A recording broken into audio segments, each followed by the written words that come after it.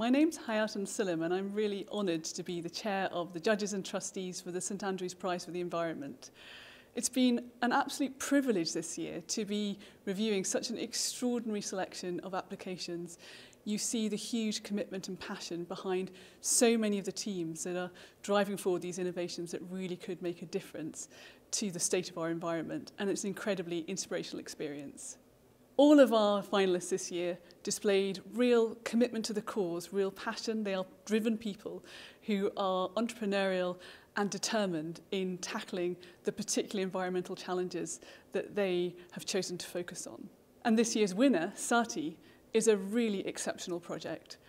We were thrilled to find such a strong team in a really exciting enterprise who have chosen to focus on this incredibly important issue of sanitary products for women. And we really love their inclusive approach that, that really ranges from the way that they have chosen to set up their factories and who they're employing through to their business model, whereby they are targeting both um, more affluent consumers who can afford to pay more for the product and making sure that for those who have real need and lower incomes, they can access product at cost.